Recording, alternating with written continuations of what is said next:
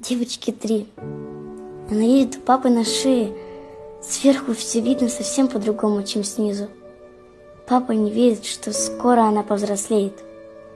Папа готов воплощать в жизнь любые капризы. Девочке шесть. На коленках у папы удобно. Он подарил ей щенка и большую конфету. Папа колючий, как еж, как мишка огромный. Папа умеет и знает вообще все на свете. Девочке десять.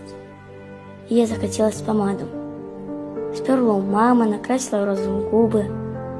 Папа ругался, кричал, что так делать не надо. Папа умеет бывать и сердитым, и грубым. Девочке скоро 15. Она повзрослела. В сумочке пачка эссе в потаенном кармане. Папа вчера предложил покататься на шее. Девочка фыркнула.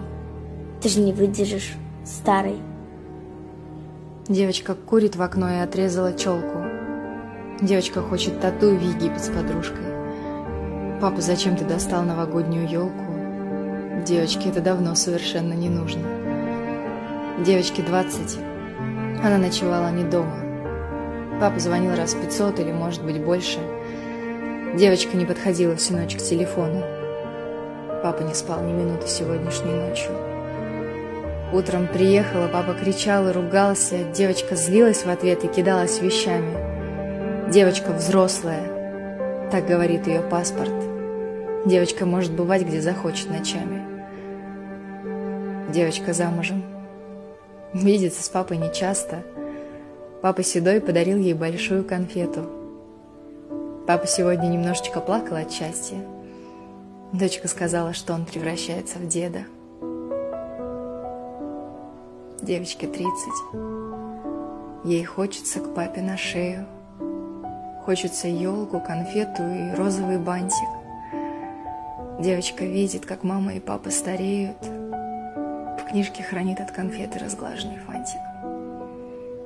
Девочка очень устала и плачет ночами. Папа звонит каждый день, беспокоясь о внучке. Девочка хочет хоть на день вернуться в начало – Девочка хочет домой, хочет к папе на ручки. Но девочка женщина с красной помадой и лаком.